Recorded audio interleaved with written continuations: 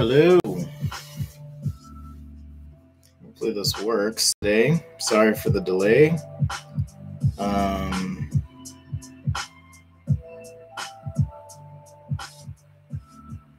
hi. Got three people here, two now. Saw me and they're like, I'm out. Peace. Anyhow, uh, if this is your first time, welcome. I'm Spencer and we are sketching today. So, as always, seems like I'm a little bit behind, but um, we'll get started. I'm wearing a cap because I have a giant zit on my forehead today. So, sorry about that. Um, but nothing I can do about that problem. Anyhow, um, as always, open to suggestions, anything you want to see. I'm only going to be able to go till about 10, or sorry, uh, yeah, 10 Pacific today. So um, I'm just going to jump right into it and be quick. Um, if there's any problems with audio, video, whatever, let me know. Still figuring out all this stuff. So, but most importantly, just having fun. So, yeah, if you have any questions, requests, whatever, um, that's cool. So I thought I would sketch on vellum today because I've kind of been enjoying it, and I've got some scrap. Got some scrap vellum here. So just need to sharpen a couple pencils. How's everyone doing? Happy uh, Valentine's Day, or if you're like me, Single Awareness Day. Super fun, right? Let's grab my giant oh giant pencil box here. Can I sketch some water bottles? Um, sure. I could I could do a water bottle. I see no reason why not.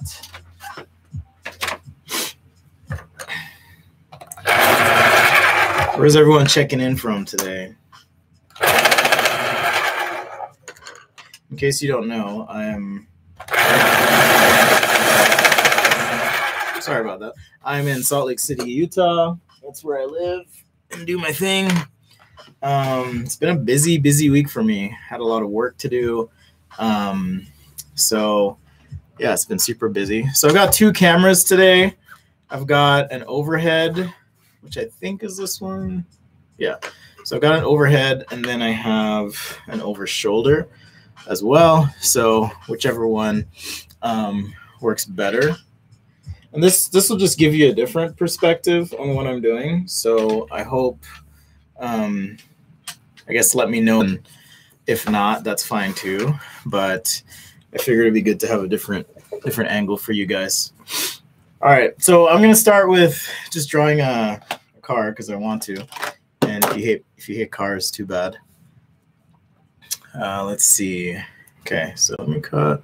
I don't know why this camera got off for some reason, but let me tighten this up.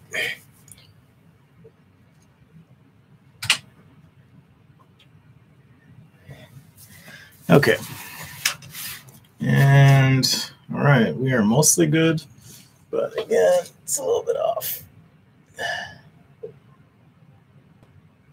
There, there we go. Tennessee, France. Gonna attempt to draw along. Cool. New subscriber, hello Zach. And thank you. All right, so a couple ways I like to draw cars. Um, you know, you can just kind of start with the wheels, or um, if the music's too loud, let me know um, start with the wheels or start with the box, whatever. Doesn't really matter that much. Um, I'm going to start with just in a, a, giant ellipse or blob here. A couple wheels. Maybe I'll do a truck. I haven't done a truck in a while. You know, and then kind of get grill, maybe main body line, hood.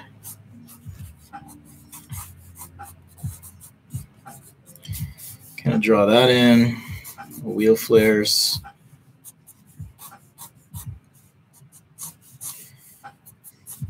Come down like so. With cars, I like to try and continue the lines through as well. Or any kind of vehicle, I should say. Just helps it be a more cohesive design. I'm using Prismacolor mar- Prismacolor uh, pencils. My apologies. Um, if you're wondering what I'm using today.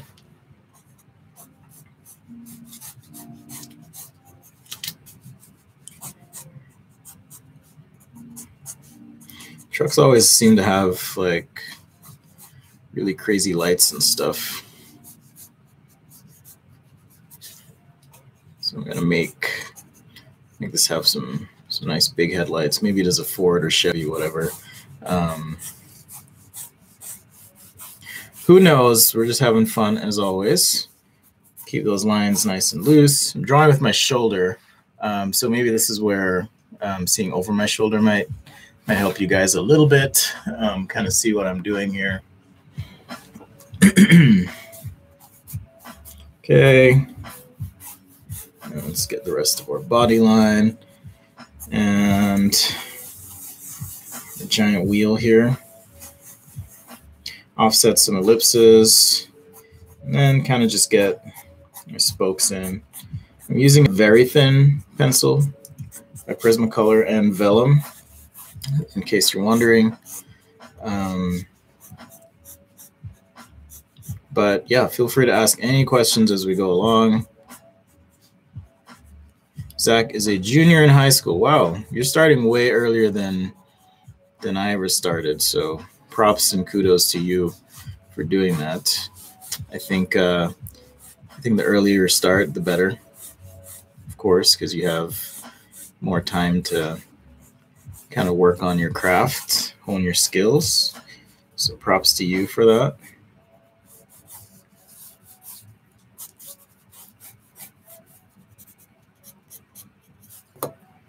Don't have as many people today. Maybe uh maybe everyone's out on early dates or something. Yeah. For their VD, Valentine's Day holiday or whatever. I'm not really a big holiday person myself. Um, which you know, to each their own, but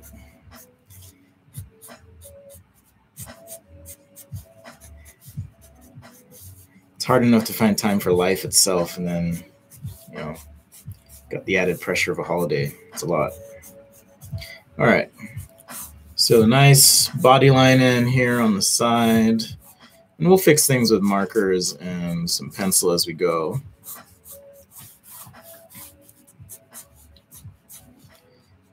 Okay and maybe, maybe we'll just add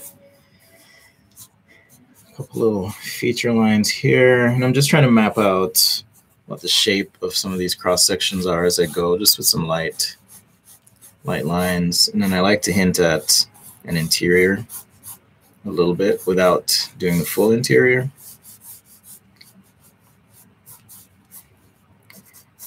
So something like that. And the nice thing is it's in pencil, so um, you know, when we when we start applying a marker with a little heavier color and so forth, um, it should come out a little cleaner. I broke the tip of my pencil, so I have to uh, resharpen. Hello from Ukraine. Is this, is this your first time joining us? If so, welcome. This pencil is bunk, so I'm gonna. Sometimes, oh, here's a here's a tip for you. um, it's a little dangerous, but one thing you can do if you have a pencil that um, when you sharpen it, it like keeps losing the points, is you can put one of these in the microwave for just a few seconds. Now, how long that is, you kind of have to decide. Maybe I'll do a video on it. There was an article on my website a long time ago about this, but you can throw the pencil in the microwave, just hit it for a couple seconds, and it'll actually refuse the lead together in the pencil so you can use it again. So that's what I'll do after the video is over um, is I'll, I'll just go hit my pencil in the microwave for a bit and uh, it'll be like new. So there's a tip for you. All right, little mirror action there. Got our wheel stuff. Um, let's see. There, there. Just like that. Okay, cool. So we're probably in a decent place to start adding some marker and color to this. Um, and I thought I thought we'd just have some fun today um, and show you something a little bit different. So I have these um, cotton swabs that I brought, as well as my marker inks here. So we're gonna do a wash, um, and I want you guys to pick what color the truck should be. So we can do a yellow truck, red, blue, green, or gray.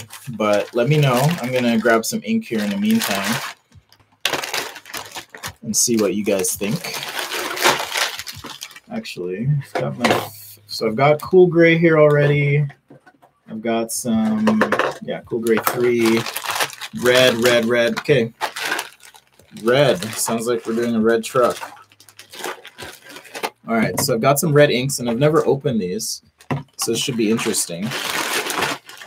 And we can even, let's see, if we do red, we can do some blue on the top. But I don't think I have any blue inks. I'm pretty sure I don't. So maybe we'll make a combination of red and yellow. And we'll, we'll just shade from there. So I have red 24, 29, and 27.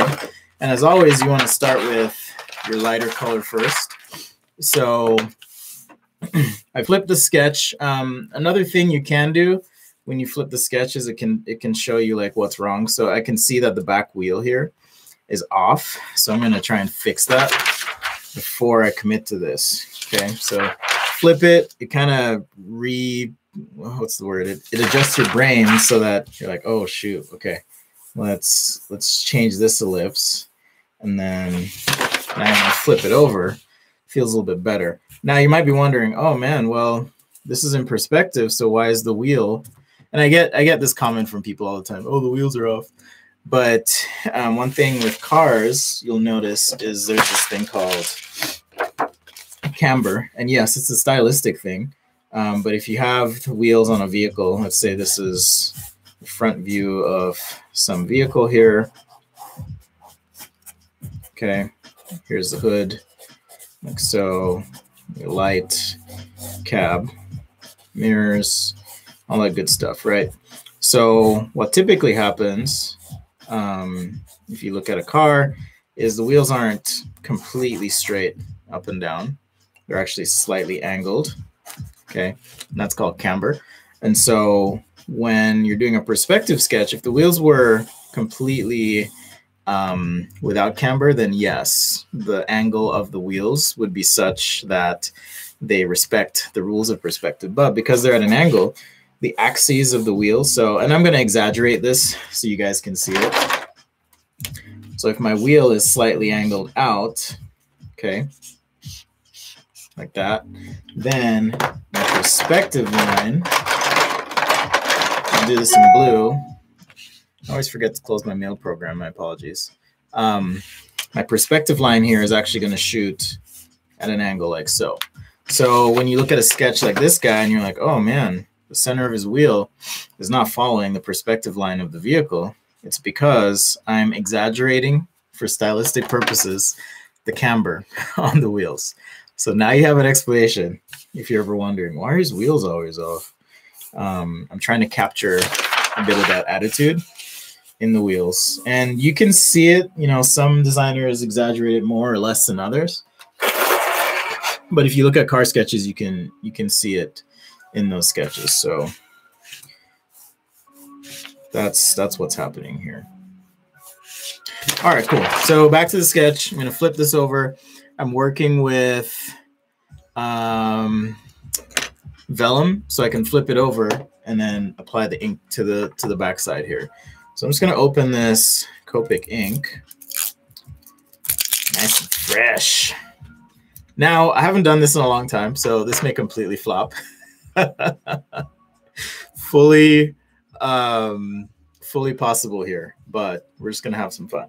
Now, with the inks, I can just apply some ink to this pad. I usually like to have a binder clip as I'm doing this, but we'll just kind of make a giant marker, okay? Kind of like this. Get a little bit more on here. And I'm going to concentrate the red kind of on the center of this, like so. And yes, I could use my airbrush to do this as well. Um, and like I said, I wanted to mix some yellow in. So I'm going to, let me open up this yellow. Hello, Lynette. How are you doing? Do I have a favorite product to draw? Drawing for your homework. I have to draw for my homework. My favorite products, um, cars, robots, shoes. Those are kind of my my go-to things. So if you've uh, if you haven't noticed. I like doing those things. So with the the pad here, um, or not, yeah, with the the cotton pad, I can kind of create a giant marker and gradient like so.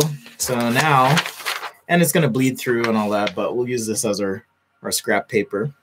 Let me cover these so that we don't create a huge mess here. And if I'm doing like, someone asked to do water bottles earlier, so I'm going to do water bottles as a second sketch, um, unless you guys have some other ideas. But that's what I'm going to be focusing on today. So yeah, just a giant vellum pad. And so now you can see there's kind of a gradient to this whole thing, um, which is nice because then I can kind of work off of that.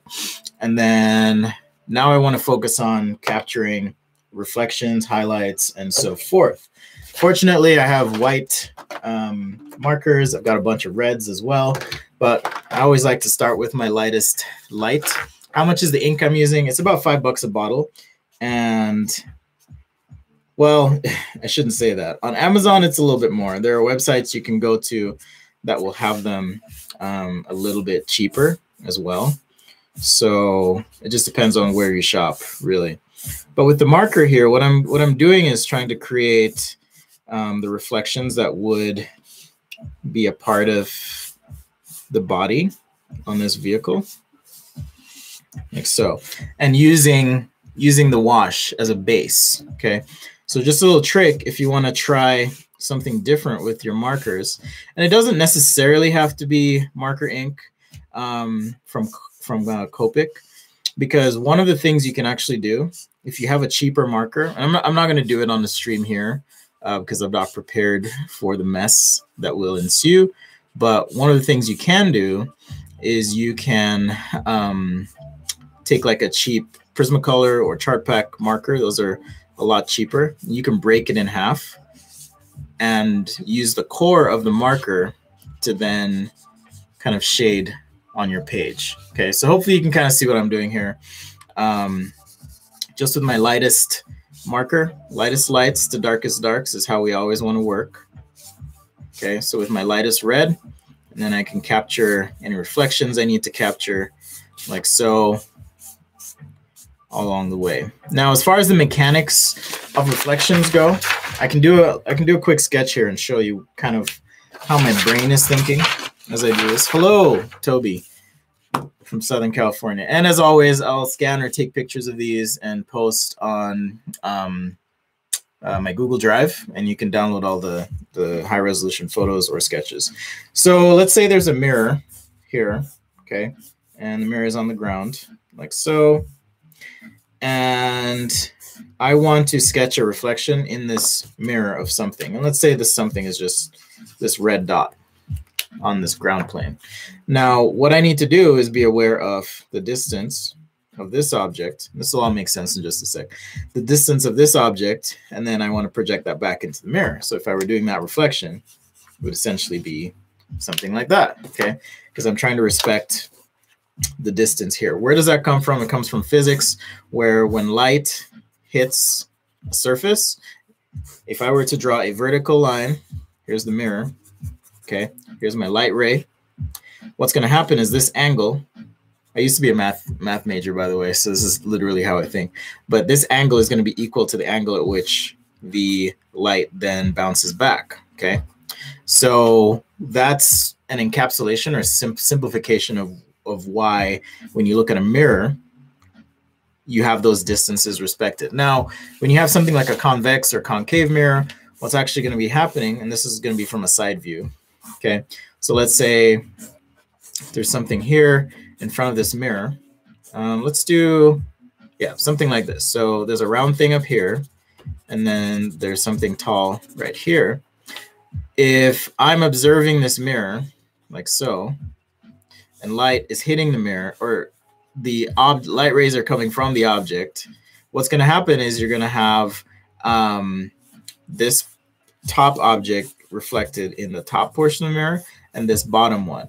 But because it is convex, what actually happens is the reflection in this mirror is no longer the same height, okay, as this object. And so you get a kind of compression. Now, admittedly, I have forgotten the um, projection of all the rays, but I do know that this object will appear shorter. Um, so I'm going to put a pin in this and say, you know, I'm going to do a follow-up video that shows you guys a bit more of the mechanics of curved mirrors. But as I'm drawing this truck, that's kind of what I'm thinking is this, this whole surface of this vehicle is a curved mirror. So now, as I'm working on the side here, okay, I'm imagining that there are things in the environment that are going to be reflecting into this curved mirror. And so my goal is to try and um, mimic, mimic, if you will, what some of those things might look like in this curved mirror side. Let me let me grab some scrap paper because I don't want to blow through my vellum too much here.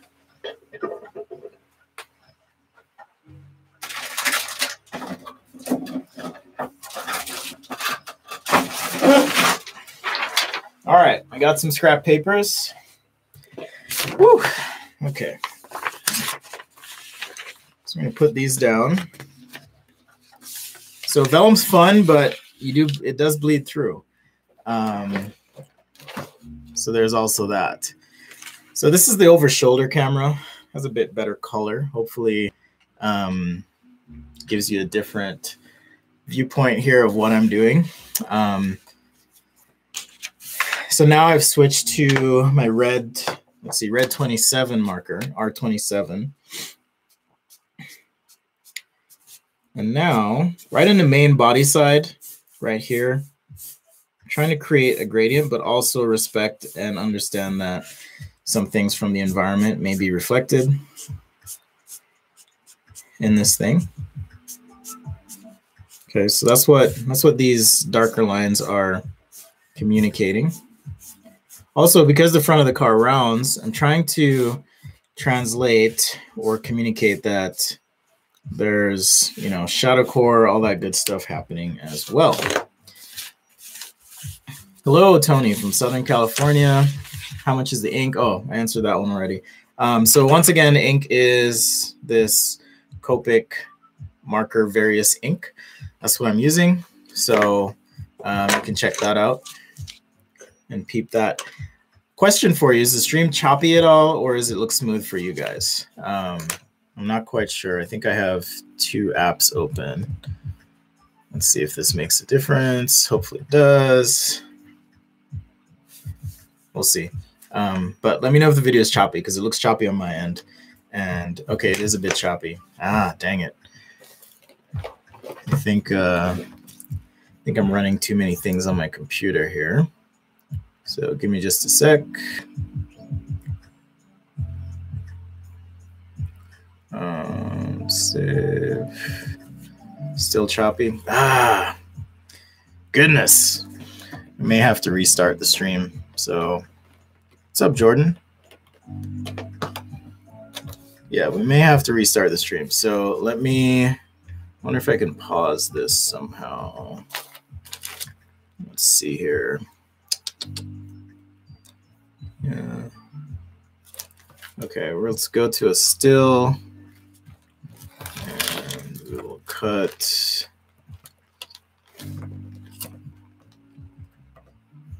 Yeah, I have no idea what's happening, but dang it. Oh well. We'll just have to deal with it. Thanks, Jordan. Oh, I have Photoshop open and I've got a bunch of stuff open here. So that's why I think. Let's see if it speeds up a bit. Nope, not yet.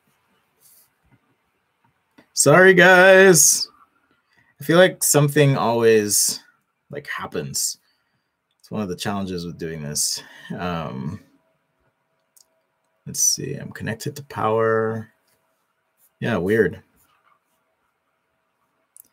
Can I draw lamps? I do take requests. Um, I usually post ahead of time so I've already committed to drawing certain things today. So you know what? We're just gonna go with it. Um, we'll just pretend that it's a um, what do you call it? Uh, 24 frames per second stream or something. we'll just pretend it's a, it has a cinematic quality to it. neighbor's Wi-Fi. No, I'm I'm actually hardwired into my cable modem, like directly, so that you know nothing goes wrong. Um, I try to make sure that at least have a good connection, if nothing else. All right, so I'll kind of bounce around here a bit, but um, I also like to capture any shadowed areas as well. So on the lights, for example, you know, just taking a gray marker and going over this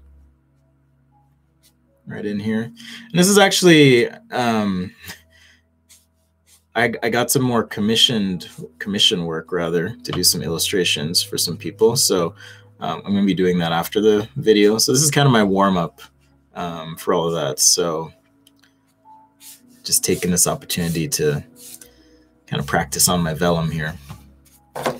Hello, Anil. Welcome. But yeah, just kind of blocking in shadows for the wheel. And you guys can ask me any questions about life or sketching or anything, design career, whatever. Um, I'm totally open. So I'm a mostly open book. If you ever were wondering. But yeah, just filling in like the wheel wells here. And I'll get to the wheels in just a sec. I'm using a an 80% gray because I'm not ready to commit to black. The nice thing about using like a an 80% or even 70% gray to do this step is it gives you a little bit of headroom in terms of value. So if I need to come in and make something a little darker, it's not pure black. And I can always push that um, value just a little bit. So that's why I like using, um, you know, like an 80 or 70% gray. So these marks, I'm intending to blend and I'm probably doing this a little bit backwards, but you know, YOLO. Light fastness or longevity. Yeah, I do. I'm not really loving the front of this truck.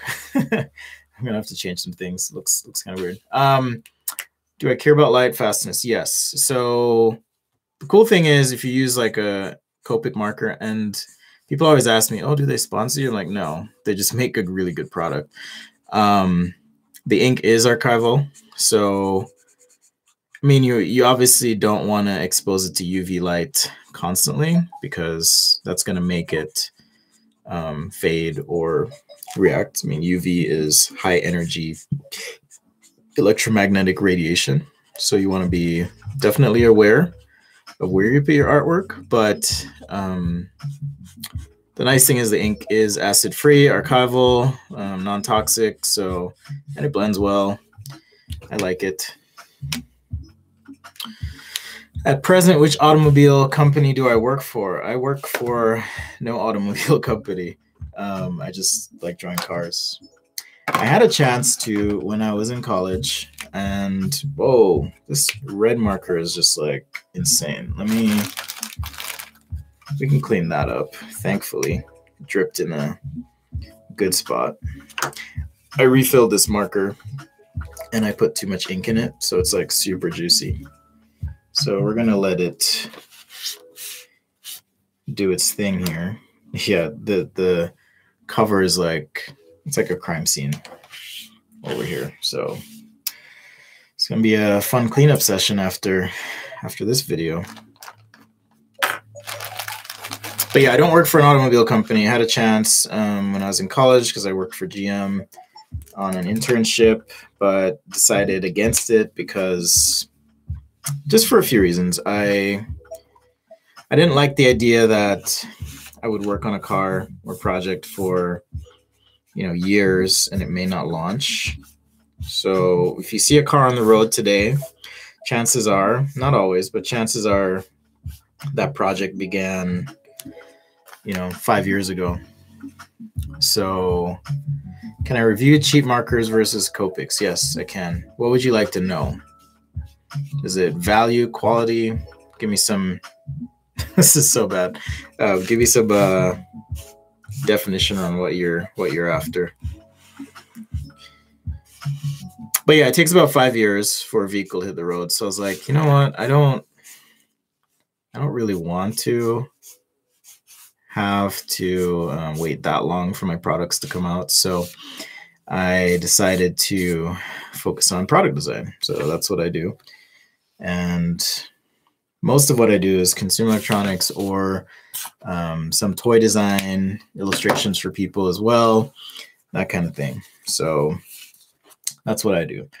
Okay, kind of lost my spot here. So we're going to get back to it. I'm going to set my white over to the side here and let's grab let's grab a white pencil if I have one.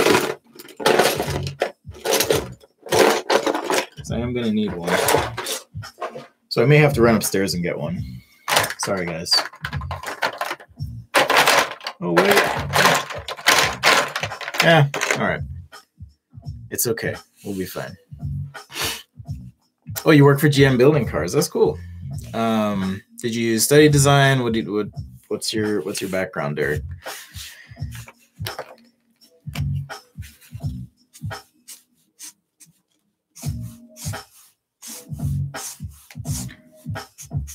So I just want to get some red on the top here and on the back. Make sure respect our part lines. Got our body line here. And so hopefully you guys can see how this is working out.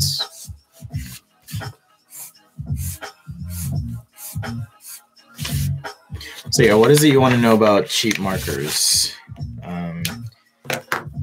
And define cheap. Like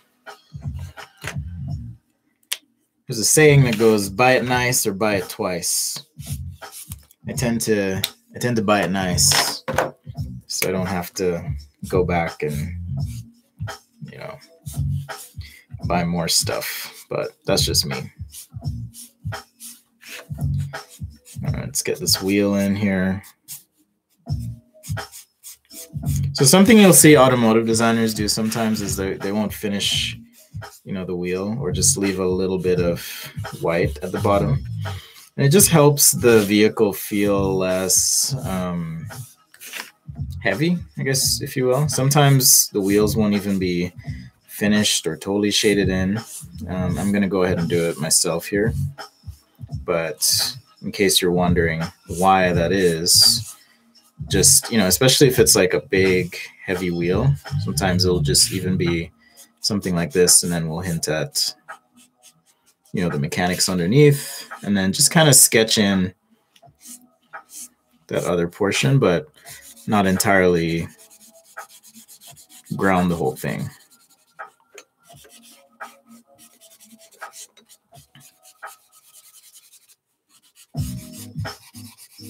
Don't worry, I forgot who asked for the bottles. Um, we'll have time to do that. So if you're if you're like, man, he's taking a long time with this this truck thing, um, we'll have time. Don't worry.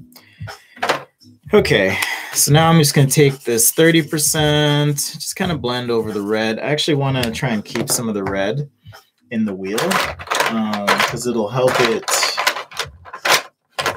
feel like the light. Seriously, my 50% gray is missing now. Um, but it'll, it'll help it feel like the light in the scene is affecting the object itself. So that was 30. Now I can do some 50 and just kind of blend, blend these up. Add a little bit of shadow here. Like so. Oh, wait. 80 markers for 70 pounds. That's actually, that's not a bad deal. At least I don't, I don't think, I don't think it's a bad deal. Is that it sounds good. If my if my math is correct, that actually sounds like pretty good uh pretty good deal you got. Okay, so that was 70. So now I can jump to something a little darker, like 80, 90, or 100. Um, and then we'll finish things up with some white and all that. Um, for the rims, I'm just to add some shadowing where it needs it. We'll blend these in as well.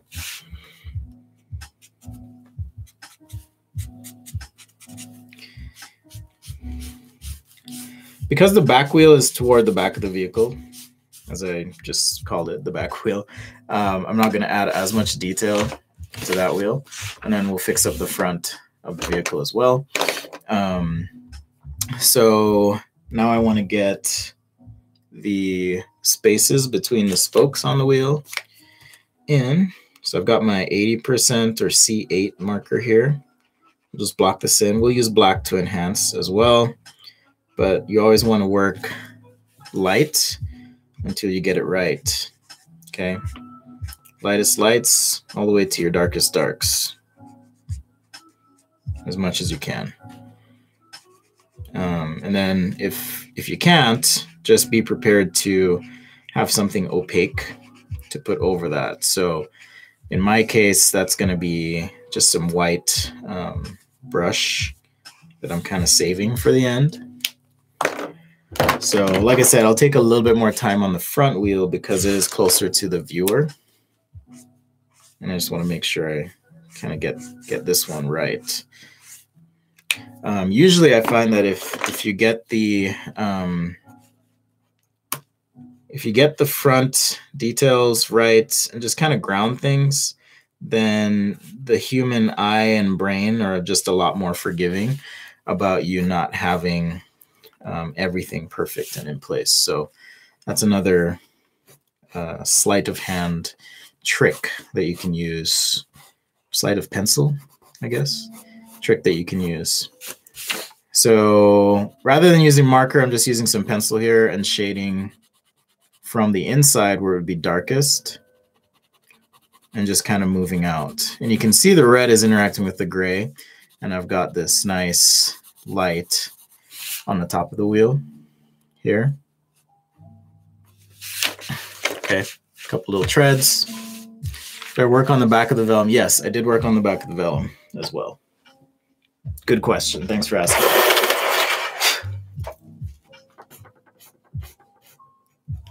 Again, my apologies about the delay today.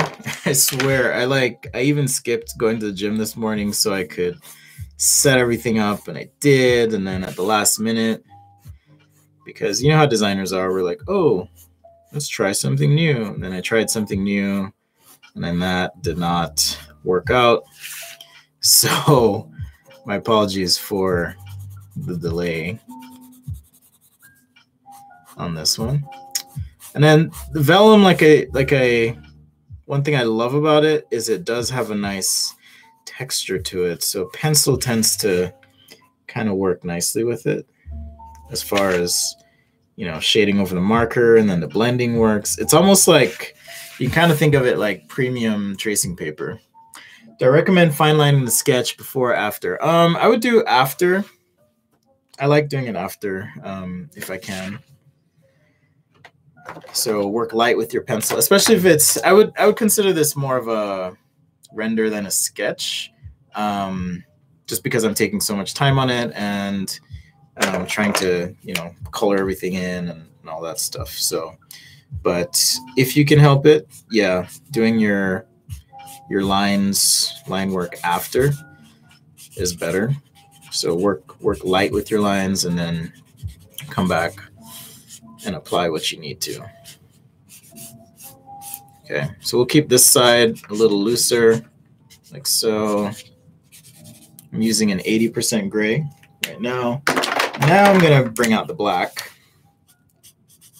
And that's going to just help punch things where we need it to have the right contrast. You can use you can use a black pencil, you can use a black marker.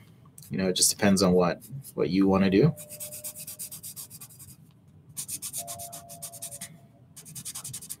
And as always, I'm I'm more after general effect than I am um, absolute precision in my work. So that's just how I flow.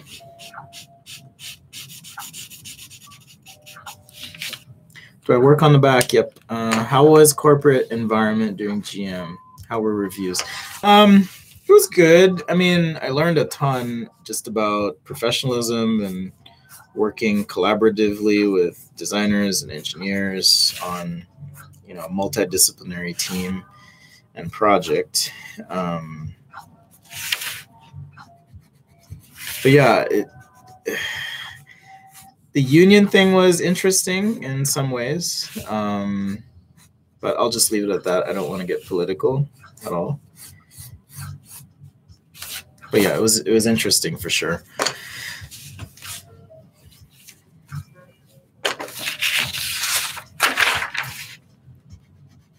Okay, so right here, just taking my pencil on the underside and you can see here, just adding a little bit of, I'll call it shadow core to this kind of um, feature that we added. Just being careful to not be too overwhelming with the black because there is going to be some reflected light that happens on the underside from the ground. So that's a thing that's going to happen. So that's why I have like this little light spot right there as we're going.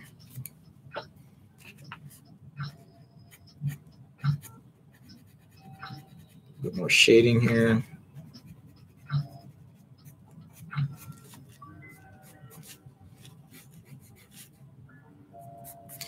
Again, once again, my apologies for for starting late today. Maybe I'll just move the start time to 10:15. or sorry, 9:15. It's 10:15 where I am, but uh, yeah. What pencil am I using? And where can I buy one? So all the links or all the materials I use in my videos, I put the links um, in the description. So this is a Prismacolor pencil. I got mine on Amazon, but you can buy yours wherever you want. If you buy it on Amazon, however, you do help support the channel, so I appreciate that. If you do, um, just make sure you use those links. Okay, I think my 70% is kind of dying, but I'm going to use it to just fill in my grill area here and hope hope that it lasts long enough. No. Oh, I have two of them for some reason. I just bought some new inks too. I'm excited for those to come. Um, I just got some some more gray because I was just kind of running out of everything. So, okay, so I'm just using this 70% gray just to block in the front of the truck here.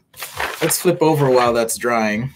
And I'm to work on the inside a little bit like so.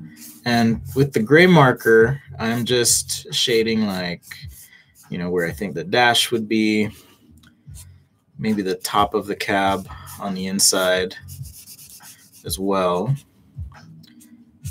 Let's come down here. Let's get the rest of the greenhouse in. And again, because it's vellum, I can work both sides. which is fine. Actually, I'm going to bring this through. And on the front here, I'm not totally sure what I'm going to do with the A-pillar, so I'm going to leave that for now. But like I said, work the front, work the back. Sounds like lyrics to a, a rap song or something. Um, but yeah, work the front, work the back. Because you can kind of work in halftones that way as well. Do I come live every day? No, I don't. Um, I mean, if I was making enough money doing it, then I might consider that. But uh, this is this right today is just this is pure fun for me. This is not. Um, if you want to contribute, my uh, Patreon and PayPal and Venmo links are there but this is this is all fun. I just I just really enjoy it. So thanks for being here. If this is your first time, if it's not your first time, no thanks. Just kidding. Thanks anyways for being here as well. Love you guys, and I love hanging out. So it'll keep getting better. I appreciate your patience and um, working with me on on this passion project of mine. And yeah, it's always wild to just like sit and think and be like, wow, there are actually people watching me do what I love. That's that's pretty cool. So thank you. So yeah, just uh, blocking in these black areas, like I mentioned, being you know somewhat delicate with the black. It's really hard to correct um, black if you get it wrong. So just want to be sensitive to that as we're able, if we can. Okay.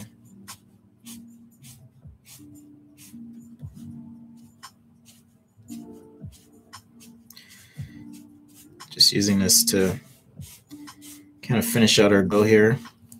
I probably do need to go get um, that white pencil. So I'm going to see if I can find one somewhere.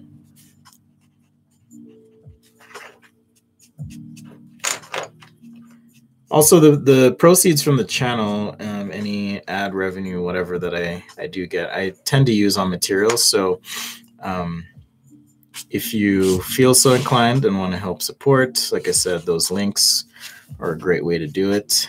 Um, so much appreciated.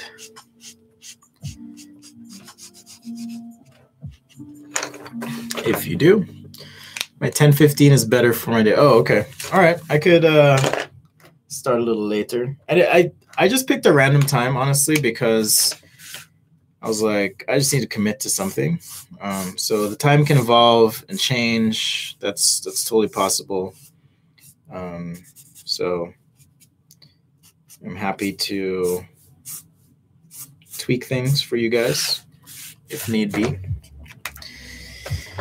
All right. Just a couple more things here. I mean, one of the tough things about drawing, i am pretty sure I've said this before, is sometimes it's hard to know when to stop and just be like, okay, that's good enough. Um, but that that just comes with experience. It's just something something you have to decide and experience, and it depends on the purpose of your drawing. So if this was like a final presentation drawing, I might spend another, you know, hour or two on this drawing. But since it's for you guys and I'm just, you know, trying to be quick, um, I won't spend nearly as much time on it. But drawing for hours and hours on the same drawing is not something I enjoy so much as I enjoy um, just pumping out tons of stuff. So that's uh, that's kind of my style. I do tend to ignore the lug nuts as well. Um, just visually, they're not necessary um, here because I'm just trying to communicate. Oh, this is a wheel, and that's okay. All right, so just some pencil to kind of help with the gradation and tone here on this wheel. Just like that. Okay, so we started with our wash on the back. Um, it'll, thank you. Yeah, it's starting to pop. It'll really start to pop when, when we get to the white paint section of the drawing. So you'll want to hang, hang around for that. Okay, so I think I figured out what I want to do with this pillar. And then I'm going to work that into maybe some element here on the truck. Just on this other side.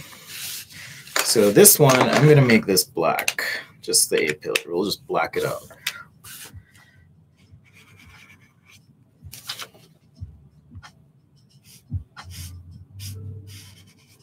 Just like that. Try and leave a couple white spots as well.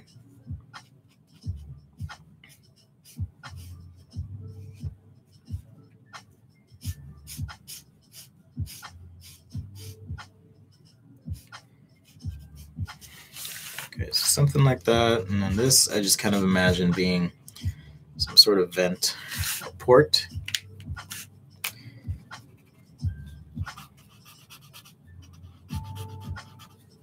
So hopefully you can understand and see a bit of the process here that and, and just at a, at a high level, you know, it's about capturing effect and not necessarily being the most precise for me um, working light until you get it right. You're choosing the right paper to use. Okay, so again, with the vellum, I can work both sides of the drawing and um, I can build tone and I have the flexibility of using, you know, the pencil on top for that texture. So, you know, as opposed to marker paper, which will give me a much cleaner drawing, but in some ways is is a bit more limiting. Um, vellum is also expensive, so there's that. So there's all those things to consider, but I do enjoy using it. But just find what works for you for sure, and then use that. That's what I would recommend. Okay, so we got our scrap papers. There's our sketch there. Um, I really do need to get that white pencil because I need to kind of lighten up um, some of these spots here in the middle. So I'm gonna set this down for a minute and I'll be right back with that pencil.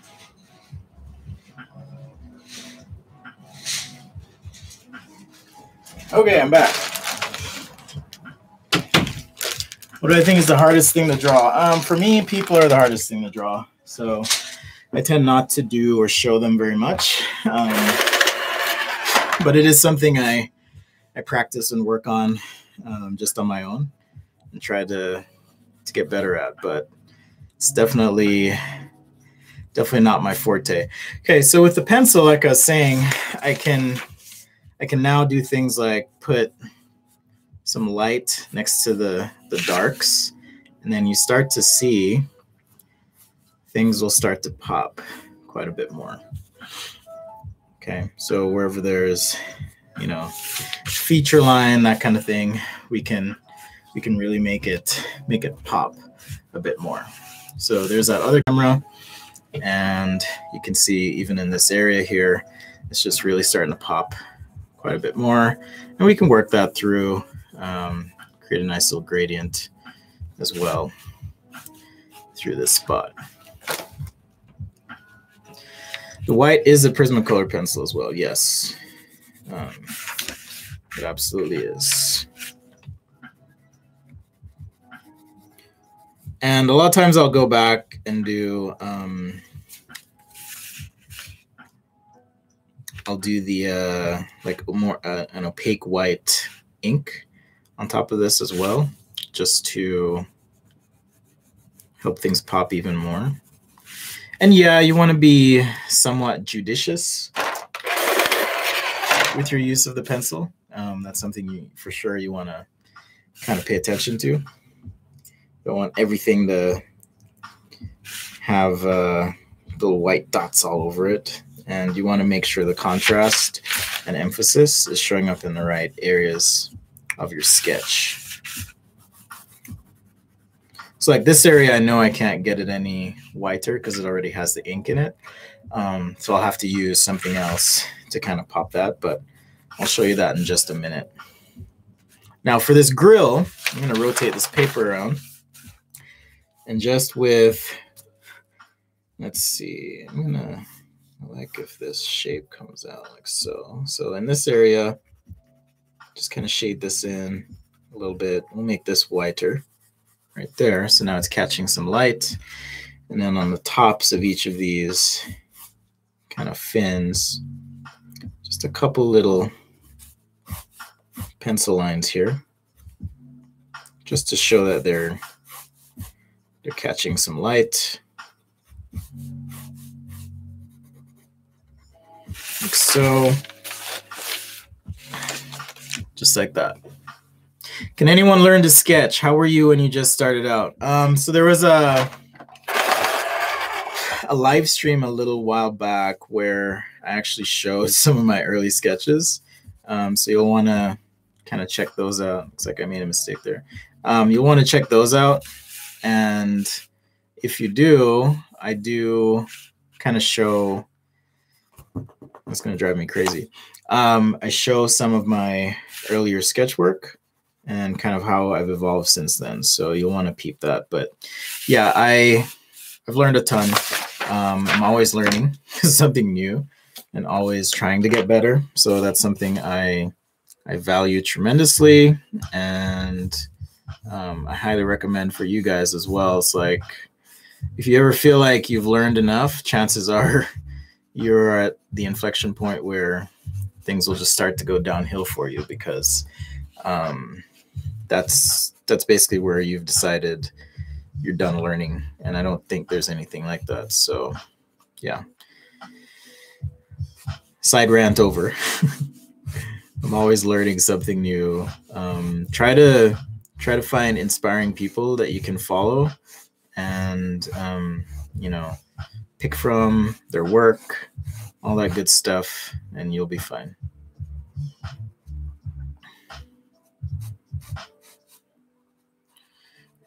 Do I know what video that is? Um, let me. You can either email me or um, actually email me would be the best best thing, or comment on the video after it's posted, and then I'll get a notification and I can send you the link to that. So that's what I would. That's what I would do. All right this is starting to feel pretty good. Like I'm okay with with this, minus this little area, which I'm gonna attempt to fix. Um, I have an idea of how I can fix that. So let me flip back over here, make sure. Okay, far side. I'm gonna make this a bit darker just by shading on the back with some marker. We got our C8 here. And hopefully you guys are learning a little bit about lighting and kind of how I set things up. Um, if you can't tell, the light's coming from the the top. Let's see, this kind of side, and then there's probably one over here as well. Um, let's block in. Uh, should we do a shadow? Yeah, we should probably do a shadow on this one. Now I'm gonna leave it. I'm gonna leave it fresh. Let's keep it fresh and light today.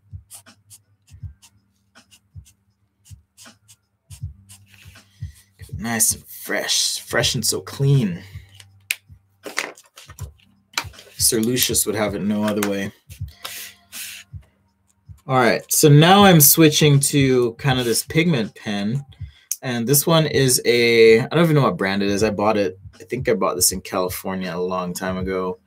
Pen Touch. Oh, it's a Sakura uh, Pen Touch. Um, I like it because it's a little bit finer than um, my other pen that I have. So I like to use this one kind of for for details, but it's not as opaque as that other one. Um, and the other one I'm talking about is this one, which is my favorite, the Faber-Castell Pitt Artist Pen. Um, I don't know if you know some of you are in different countries, so I'm not sure if they'll have this where you are. But I do like so here, even on the front, I can you know hit some of these spots and the ink is pretty opaque. The challenge or problem is that it's also um, there's a little trick. You can put down some ink and just take your finger and brush it, and then that way you get a little bit of a gradient. But the uh, the nib is just so broad, so that's one of the things I I don't love about it. So, in case you're wondering, but the ink is fairly opaque, um, flows really well, and it's nice because I don't have to, you know, carry around my tube of wash, which I do have. I have it somewhere. I just found my brush, which is awesome. Um, and I can use that too. But like I was saying earlier, this area, the idea I had was just to use this white pen. And now I can hit that clean it up just a little bit. Um, same with the wheel stuff too, if I want to or need to. Just kind of hit those areas like so. Start to make things pop. Draw the cyber truck It's just polygons. That's true. I did draw the Cybertruck, um, and you can check that video out as well if you're interested on my YouTube video list. All right, so I just want to get some seat silhouettes in here.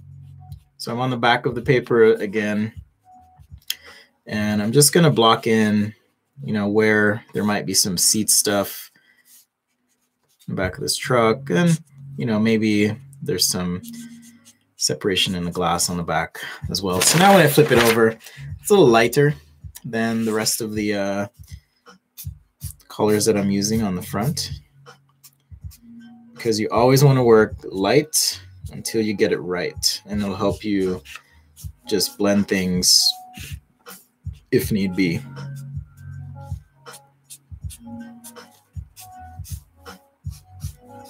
So just like that. Was really fun. Really, really fun. Prismacolor pencil versus Polychromos. I have not tried. Um, the reason I use these is I've just always used them. and I don't, unless Polychromos is like super cheap or something, um, I probably wouldn't try it. But that's because I have just used these for so long. So do I know of Scott Robertson? Yes, I have met Scott Robertson. He's a very, very nice guy. Um, he was very uh, complimentary and helpful to me when I did meet him. So um, his work is pretty good, and he was super influential for me. Like I did, um, like he has a website. I think it's even still up called drawthrough.com, and that's where I learned a lot of stuff too. Um, I learned a lot from Feng Zhu. I don't know if you if you know who that is, and I don't know if I'm even saying his name right. It might be Feng Shu. I don't I don't know how to say his name, but um, he has a school now. But back when I was in school, he had just a website, and so I learned a ton from him.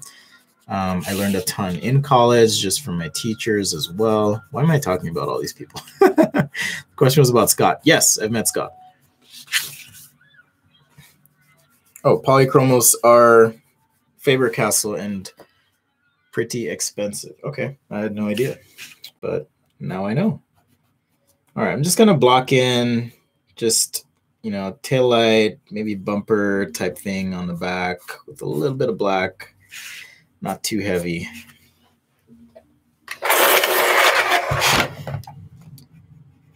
It's funny, as organized as I was today, like I said, I skipped the gym just so I could make this make this presentation for you guys, which is a big deal because I go to the gym every day. Um, and still stuff went wrong. So um, yeah, I'll probably I'll probably just move the start time for the stream. And as far as like doors and stuff go, I, I, I tend to just throw in a very very light line.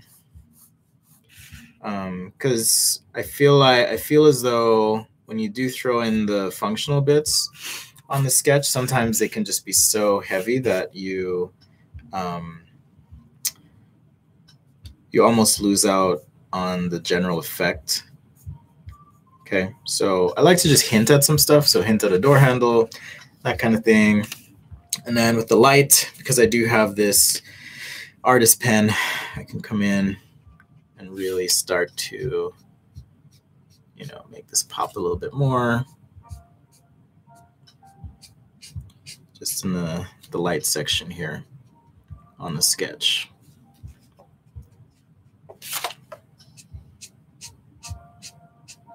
I feel like I'm so behind lately. I've been um, working on, and thankfully, I'm not I'm not complaining by any means, um, but I've just been working on a lot of uh, consulting projects, which is good. So if you guys have projects you want me to do, that's, that's something I'm open to as well.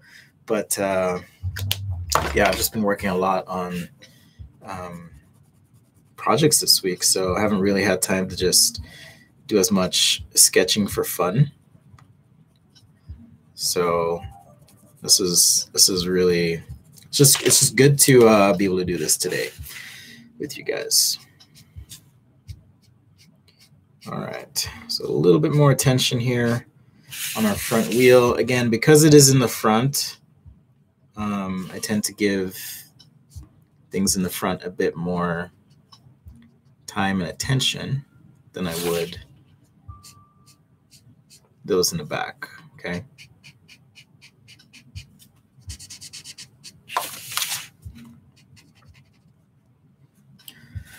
Architecture sketches, please.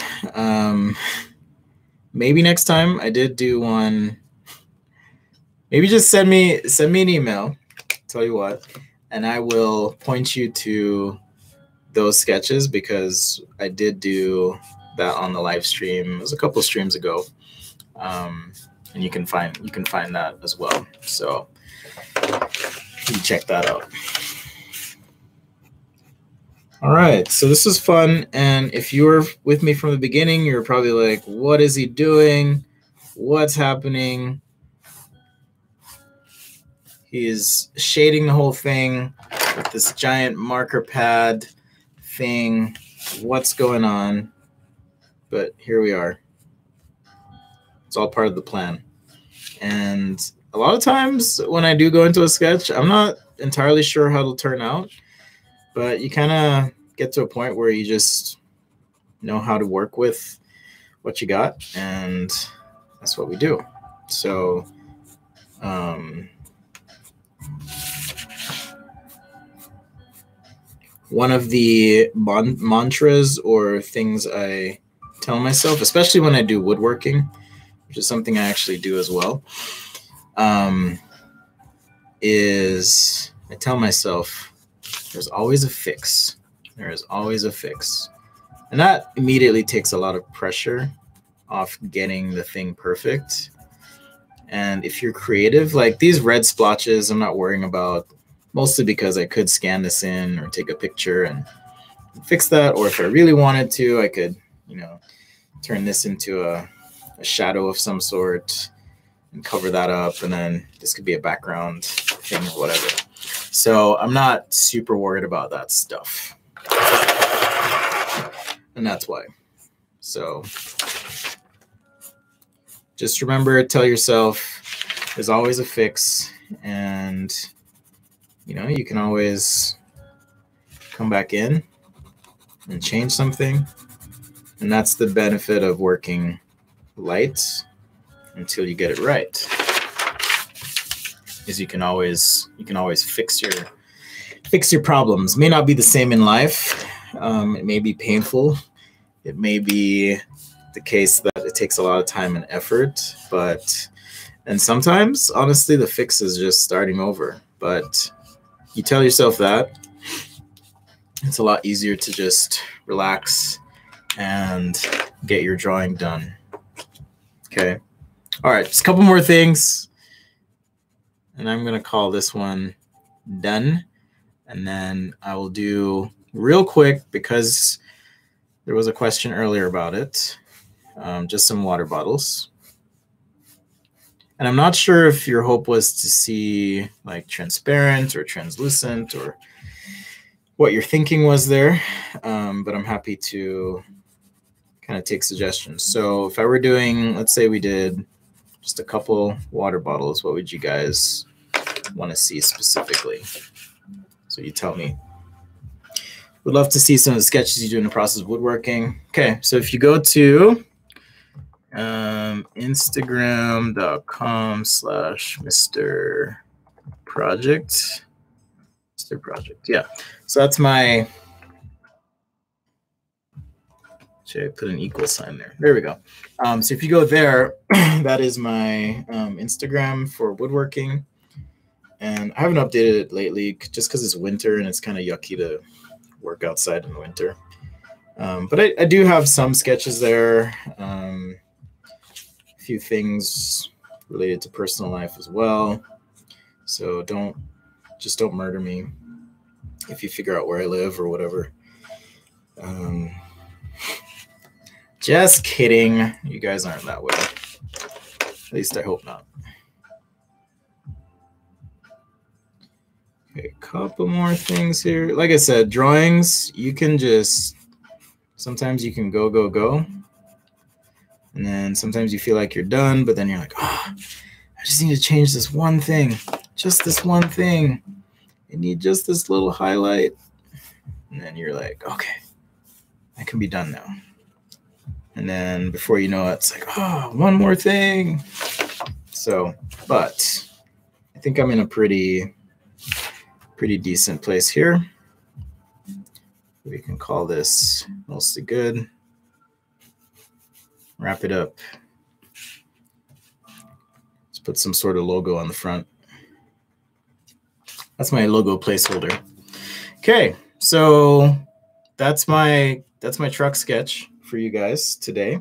So I'm gonna take a picture of this, and we will. Um, I'll make it available on the what do you call it? Google Drive. Do you believe in being a jack of all trades approach, or should an artist designer focus on one area when they're grounded? Um, so traditionally speaking, there's a, a saying that goes, you know, you want to be a T-shaped designer, meaning you have a bunch of um, skills laterally that aren't necessarily within the same thing. So you might be good at furniture and a few other things. Um, but I think I think there's nothing wrong with being um, jack of all trades, which I perceive as more of an X-shaped designer. So what I mean is a T-shaped designer is something like this, where you know, let's say this is you, and you have a bunch of skills along this continuum. You know, this might be CAD, and this might be Sketch, um, this might be presentation. Here's some illustration skills, graphic design, research, research. Okay. And you might have tremendous depth. Like this is probably me where I've got, you know, tons of depth in sketching and CAD. I'm reasonably good at CAD. Maybe I'll stop it about there. Presentation, you know, and, and over the years, in illustration, maybe I'm like halfway there. Graphic design, I'm like that. Research, I'm like that. So um, while this does not look like a T, typically when you draw these, um, it's something like this. So that's that's kind of where the T comes from. It's like you have a strong core competency in something, and then you have a breadth of skills this way. But lately, I've been thinking more. You know, it's more about being an X-shaped designer. So you kind of have your core bundle of skills, and then you want to pick maybe four things, three or four things that you're you're really you, want to push into or be good at, and then that helps give you focus rather than you know con- constantly just branching out all the way. So that's my little spiel. I can do a video on this if you want. So let me know. Did I color it only with colored pencils? No, this is marker, uh, colored pencil. We have some white paint marker as well um, that all went into this. So, and this is just my warm-up sketch for today. I'll be doing some commission artwork for some new clients. So I was like, let me let me get out all the bugs on this piece, and then when I do the real one, I won't make mistakes like that. So, okay, if you have to bounce, that's totally fine. But I'm gonna do those bottles real quick. So how about we do? I'll just do two bottles on this page or something. Um, so I'll start with some axes like this, and then let's just do a couple ellipses like so, like so. Okay, and now we get to decide the profile. Um, this is somewhat typical profile that I like to use. And sometimes I like to angle this one. You've probably seen me do do this bottle a couple times.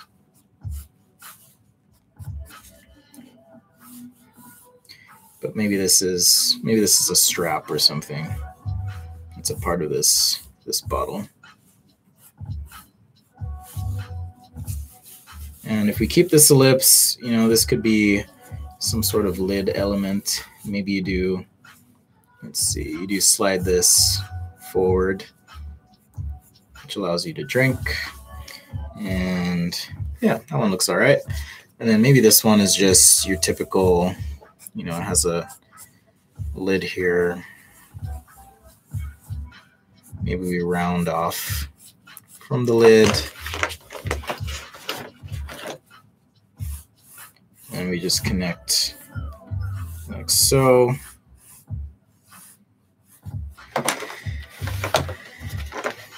Just like that.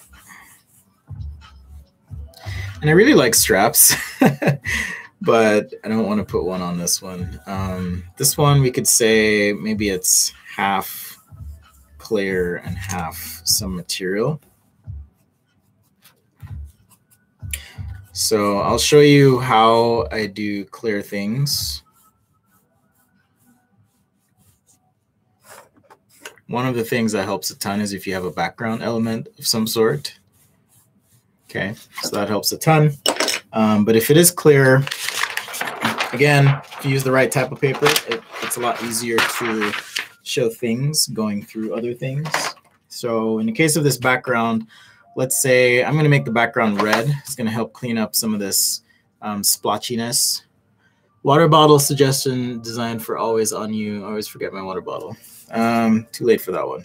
I missed it. I'm sorry. I missed your suggestion but perhaps another time. I've already committed to to this bottle here, so.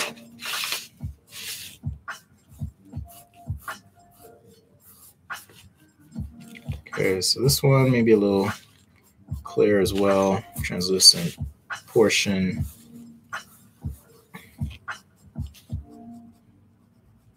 Some part of the lid showing through. Okay, so let's get um, the opaque bits done first. So we'll do the opaque bits on both of these first, and then we'll do the translucent. Um, like I said, I'll use red for the background on this one. So I'm going to use blue for the bottle itself. Let's see, this is blue green. So...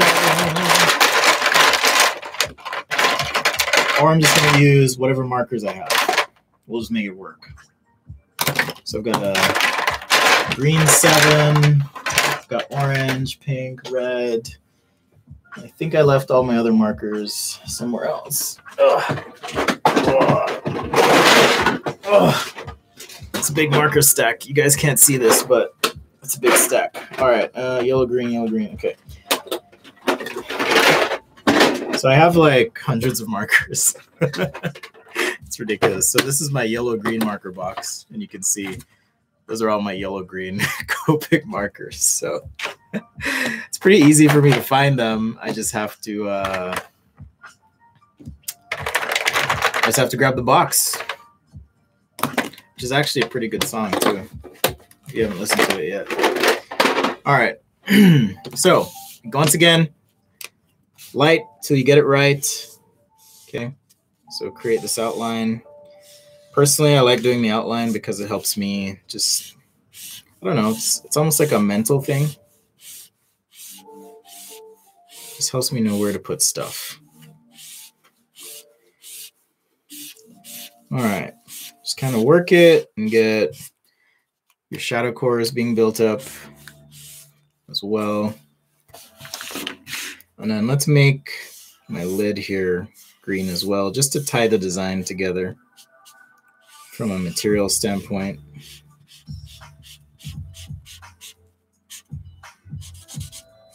Something like this. We'll keep this one more sketchy than we did with the truck. So I'm not going to belabor it too much. So I started with a green three. Now I'm at green five. We'll go all the way up to green nine just to make sure we get the right blends and contrasts that we want to have.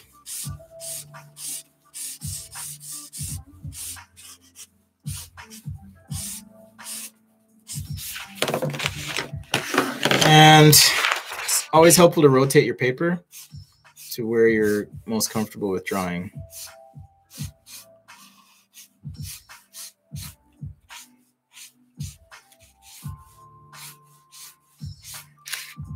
So I don't know if you guys know, but I also do workshops. Um, I'm trying to figure out a way to do them online where I'll actually do more of taking your work and critiquing it and giving more hands-on dedicated attention. But I just I just found out I'm going to be going to Mexico uh, in May. So that's going to be super fun. I'm excited about that. Gonna be awesome. So I'm just trying to create a gradient here where I have a shadow core, some highlights, and a decent bit of contrast in this body and just kind of blend back. Um, admittedly, I made a mistake earlier on. I didn't point out to you guys in just how I was lighting this. So I've kind of had to change my lighting approach a little bit as we went went by here, but it's okay. Like I said earlier, there's always a fix. So that is what we're doing. Looking for markers is brushing through like yes it absolutely is um it's like i i try to get organized but then after every stream or video or project it's like chaos because and this is how it is with woodworking too i just throw stuff everywhere and then before you know it everything's a mess so yeah. I'm going to keep this arrow in here. So just making sure I'm careful with my outline. Looks like the video sped up again, I think. Did this camera turn off? Maybe. Yeah, it did. Interesting. Okay. It's like I'll have to do some some technical support self technical support when I'm done. So yeah, like I said, just keeping it a little sketchier. Right through here.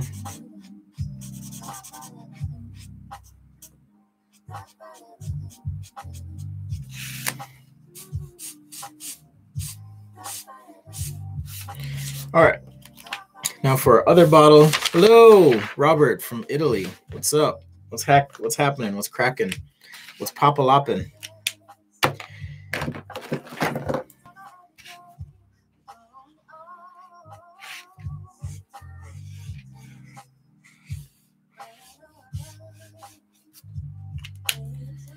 Thank you. I found this playlist on Spotify that happens to be copyright free, so I can use it in my YouTube videos. Well, not my YouTube videos, but my uh, streaming. So that's what I'm using right now. Okay. Oh yeah, I was saying earlier I just bought a, a set of inks, and I got a set of um, gray inks. So thank you for watching the videos because by watching the videos, I make a little bit on ads, not a ton. Like it's literally enough to just keep the lights on, keep the show going, and uh, help me buy some markers. So I appreciate the support. If you want to support in other ways, all that information is in the video description. Check that out if you want to. All right, and then the inside here. Oh, that's what I was gonna say. So with translucent things, I'm good, Robert. Thank you. Um, with translucent things, I like to just do kind of a, a light gray outline like that. Okay. We'll revisit that. Same thing here. Just a light gray kind of outline. And then this is where the magic happens. So since I'm making the background red, I'm going to use my red 24 and my red 22. So the 22 I'm going to put behind this bottle like so. And this line, I'm actually going to move this line ever so slightly because when you look through glass or plastic, things tend to get distorted, and this may not be completely accurate to the laws of physics, whatever, but it's grounded in principles, and that's the important part here. Okay, And now outside of this bottle, I'm just going to outline the rest of the background here.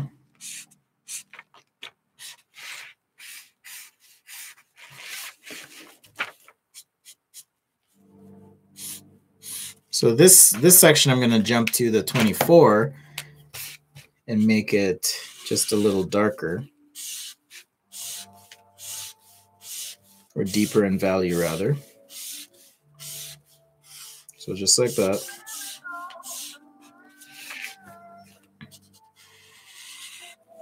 Can't believe it's Friday already. I swear the weeks are just like flying by lately and it's the middle of February.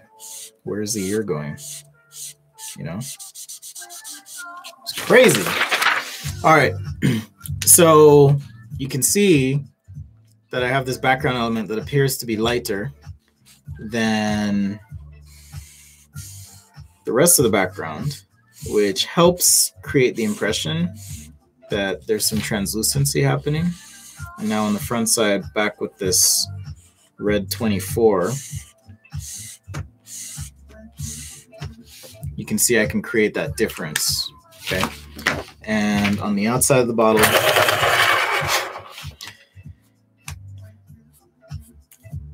my line weight, and like I said, we revisit this area. So for the thickness, just in the inside, I'm gonna kind of add these little artifacts. Okay, just stuff like that. And I wonder if I can get this camera to work. Let's see. Off, on. Okay, so now we're on. All right, so that's working now. So right, let's see. Right here. That's where I'm talking about. So I can work these sections of the bottle. To think, where's the best view? I'm looking at it in reverse on my computer screen, so my apologies for that. But if I want to show that thickness, just adding that little kind of artifact, and then you can add white on top of that as well for your reflections.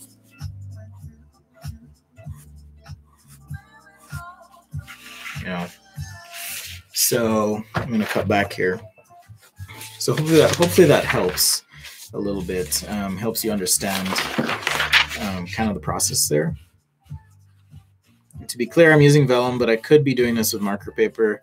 Um, the difference is I couldn't shade on the back. I'll just have to use the two different markers to get the right values.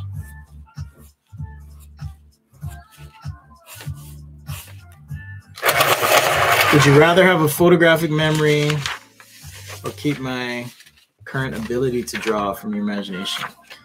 Huh.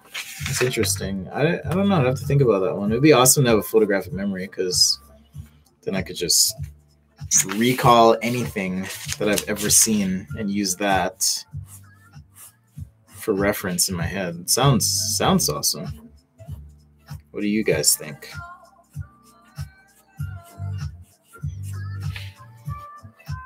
It's a really good question. All right, so just on the top here, nice sharp, almost artifact type thing, a little bit of shading there. And then with my white, is what I was talking about, I can come in and start to add any highlights I need to. And it is a white pen. It's not exactly gouache. It's convenient, is what it is. But lightest lights against your darkest darks, It's going to give you the appearance of, of things just popping. Okay. So that's what I'm trying to do with that clear section.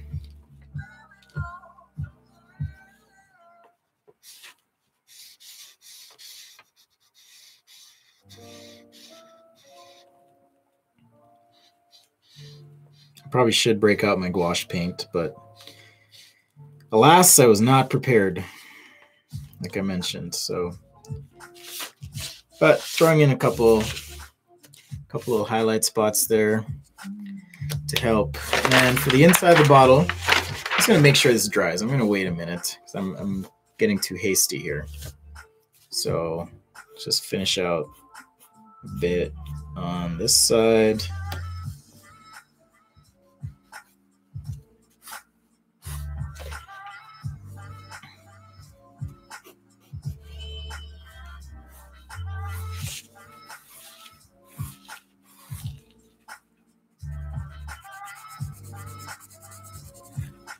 So sometimes if you have two sketches on a page, you can finish them to do two different levels to communicate a sense of importance for one or the other.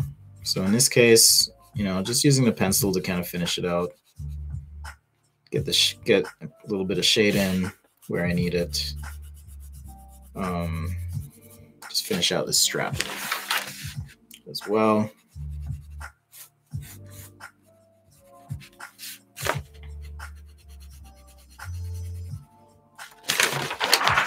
Keep it loose.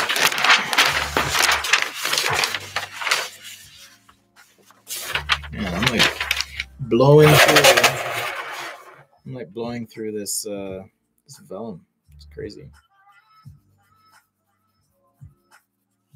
I just want to help with the definition on the top here with the pencil.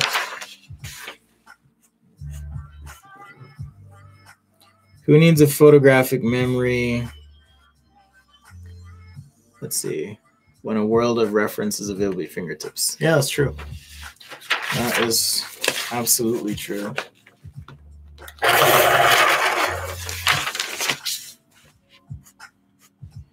All right.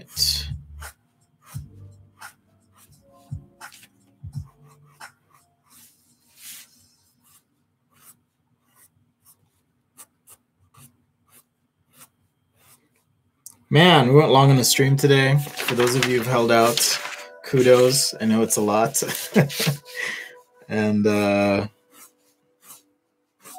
like I mentioned, this is this is just my fun time for the week. So appreciate you hanging out, being here, being willing to give suggestions and feedback and all that good stuff. So thank you.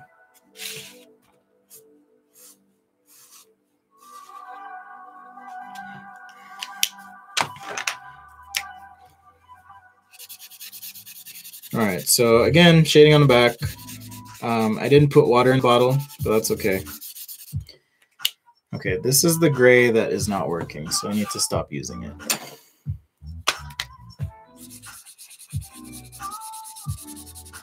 Back to 50.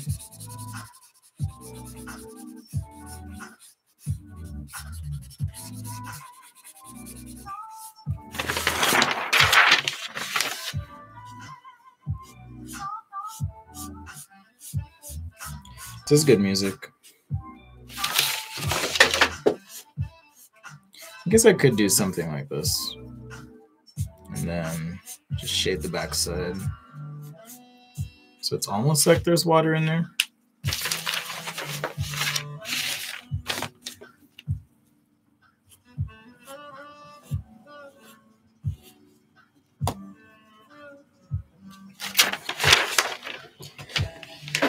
Ugh, here we go. Yeah, hunting for markers is definitely like trying to find that that one Lego piece that you need. Do you guys do Legos? I do Legos. Uh, mostly with my kids, but um, sometimes we'll get a big set and do that together. Always fun. All right, let's do a black lid. So we'll do C8, 9, and We'll do some black with some pencil.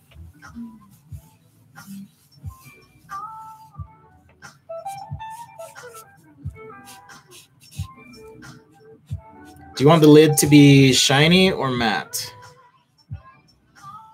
Shiny probably makes no sense, but if you want it shiny, we'll do shiny. let me know.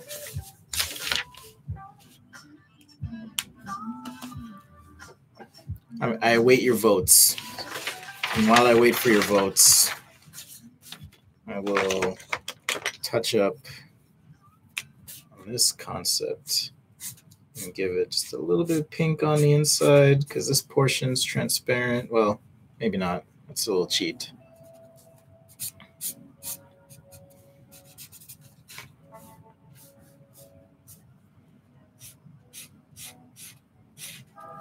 Shiny. Okay.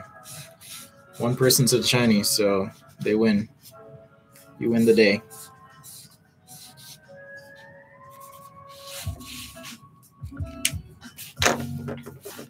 All right. So shiny it is. Okay, shiny, let me think. Black, shiny. We want to do, let's start with the gray. Gray 8 here.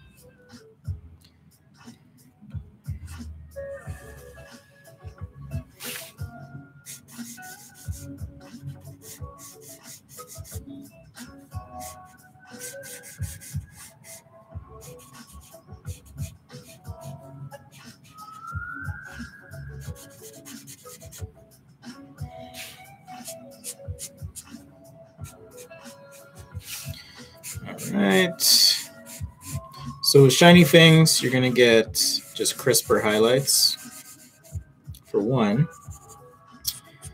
And you get a little bit of uh, gradients as well with the lighting. So we'll get to that in just a minute. I'm just trying to kind of block in some stuff here. And then we'll start shading in.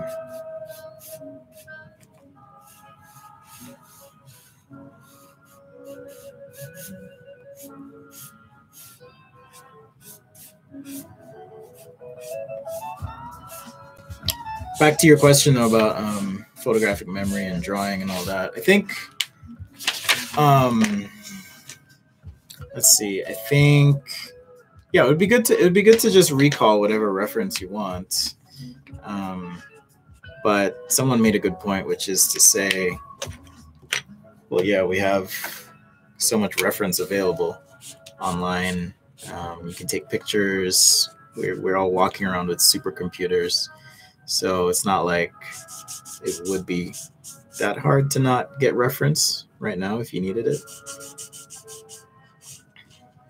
Like for me, if I'm starting a new project, I'll just um, pull up an image online. If I've never sketched the thing before, it's just, it's really easy to get that stuff. So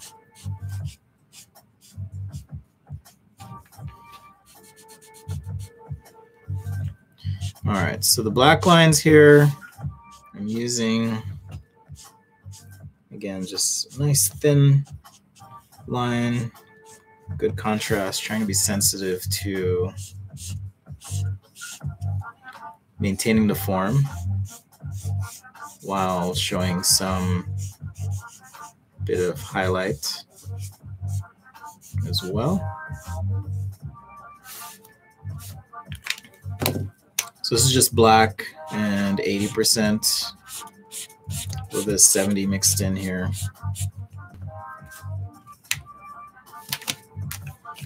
Well, yeah, Kim Kim Jung Gi, or I'm not sure how you pronounce his name. He um, he's insane. I highly respect him. If you haven't checked his his work out, be sure to check it out. Um, just incredible talent as far as memory recall and um, just being able to draw anything. Super, super, super talented dude. so you want to check out his work too. For a minute, he was following me on Instagram. I don't think he is anymore, but um, was back when Instagram wasn't a complete and utter mess of stuff kind of what it is now.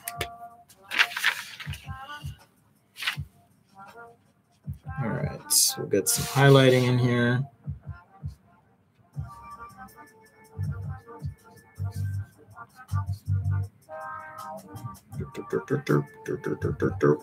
Yeah, it's good music.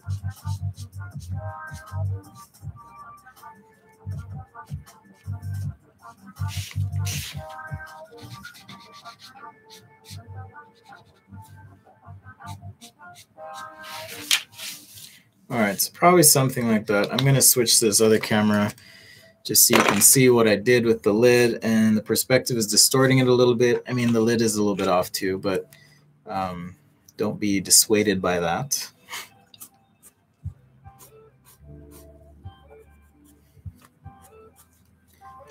Come together.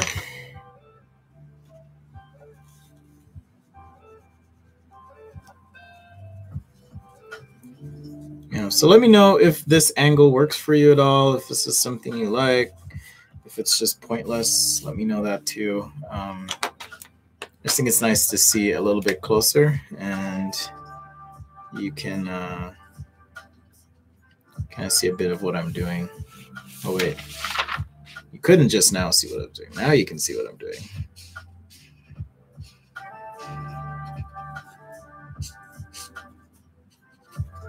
But yeah, this uh, this Pitt pen is it's really nice. Um, if you're just looking for a way to apply opaque white on the go, it's pretty pretty effective um, pen. So check those out. And it wasn't terribly expensive either, um, if I recall correctly. But uh, wow, I've been going for an hour and 41 minutes. It's crazy. I've got to go get lunch get the rest of my day going. But thank you so much for hanging. Sorry again, we started late. This is like, I think this is the longest live I've done. Um, I had this crazy idea once. I was like, maybe what what would it be if I just streamed for like 24 hours one day? but that would, that would probably be insane. Anyhow, this sketch needs more work. I'm not gonna lie, it probably needs another 15, 20 minutes, but I'm going to leave it for now. Um, so we did uh, the water bottle sketches here, and we kicked things off with this truck sketch, showed you that process. So if you want, the, the stream will be live after um, I hang up or end this, and you guys can watch it again if you want, skip ahead, um, or whatever. But again, appreciate the support and appreciate you guys hanging this whole time. Shout out to Vicari, he's always here. He, she, they are always here. Um, and to all of you, and if I don't if I don't call your name out, that's fine. Um, doesn't mean I don't care. It just means that my brain is completely mush because that's how it is. But um, thank you so much for being here, and it means a lot that you're interested in my hobby and that we can spend this time together. Thanks for the suggestions. Um, I'm going to take some pictures and post the sketches up. So that'll be live after the video goes up and probably after I after I uh, have some lunch and eat, I will I'll post that up and you guys can check that out. So with that, thank you and we'll see you next time on Sketch a Day. Thanks guys. Bye. See ya.